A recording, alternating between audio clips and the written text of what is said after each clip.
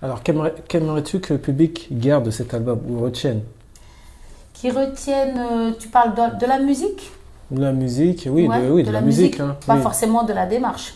Non, plutôt de la musique. De la musique bah, J'aimerais bien, sincèrement, moi j'ai voulu pour cet album que ma, ma voix soit un peu mise en avant. Mmh. Mais ça, ah c'est toutes les chanteuses. Hein. Ouais, non, non, mais... bien euh, moi, c'est, être la chanteuse. Oui, non, mais ta voix, elle interpelle. Voilà, moi je voulais que vraiment qu'au niveau de la prod, bien sûr qu'il y a le piano, il y a la cora, ngoni, il y a la viole, mmh. euh, il y a, d'autres instruments, il y a mmh. les percussions, tout ça. Mais je voulais que quand même on se dise, euh, voilà, que, que que c'est une voix, que c'est une voix qui, qui, est travaillée, même si j'allais dire euh, c'est une voix de... Parce que souvent on pense que les, chanteuses africaines, elles travaillent pas leur voix. Ben, c'est instinctif, tu sais, c'est au feeling, on a un os dans le nez et on chante. Mmh, voilà. Mmh. Et euh, c'est un peu dur ce que je dis, mais c'est vraiment pour dire que euh, j'ai voulu que, que, les gens se disent c'est un album pour, pour les voix et pour ceux qui aiment les voix.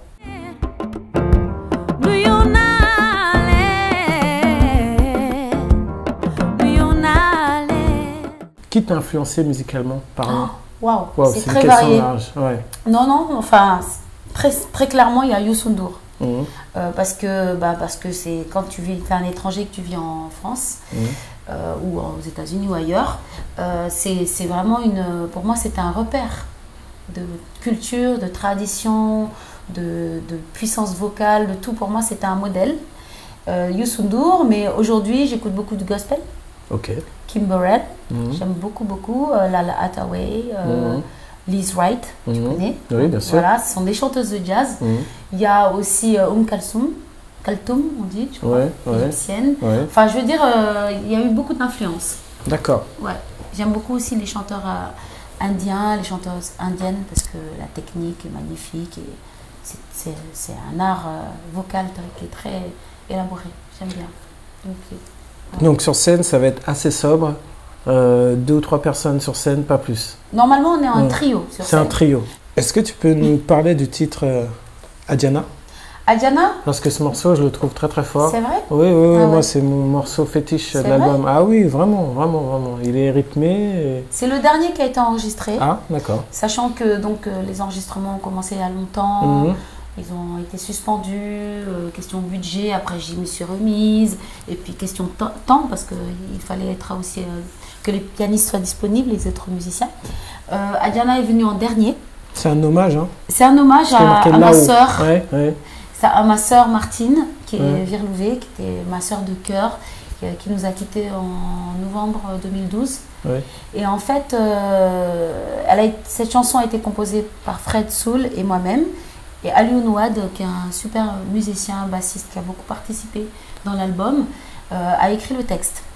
Et euh, voilà, ils ont compris que j'étais dans une telle tristesse de perdre quelqu'un. Et euh, je crois que ça m'était jamais arrivé. D'accord. Non, mais de cette manière-là. Parce que la mort, on la connaît, fait partie de la vie.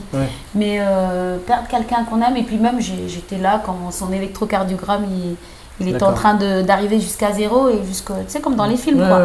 Et sincèrement, ça, ça marque parce qu'on se dit qu'il faut profiter de la vie, qu'il faut aimer les gens qui nous aiment et même ceux qui ne nous aiment pas. Mmh, il faut mmh. kiffer ta life. Franchement, il faut euh, euh, pardonner. Enfin, vraiment, ça t'élève d'être face à quelqu'un qui quitte ce monde. Mmh. Tu te dis, mais attends, on va essayer de se réconcilier, mm. on va essayer euh, de faire la paix avec tout le monde, mm. euh, on va essayer de faire les choses le mieux qu'on peut, de se donner...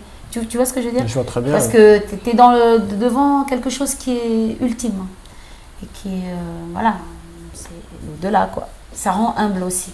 En tout cas, ça rend humble. Morceau réussi. Mais bizarrement, dans ce morceau-là, on a pris le rythme balard de chez moi. Ouais, parce que ça c'est rythmé quand même. Rythmé, mais pas forcément joyeux. Ouais, parce que tu as vu, la mélodie, elle est un peu. Euh, c'est très. Euh, tu vois, c'est. Ouais, mais. Les notes sont longues. Sont longues, mais c'est vrai qu'il y, y, y, a un truc, il y a un relan qui est, qui est dynamique. Et ouais, c'est le rythme qui, fait ça. D'accord. Mais la mélodie, ça reste quand même. Euh, tu vois, c'est très. c'est très nostalgique aussi de la vie qu'on a connue avec la personne.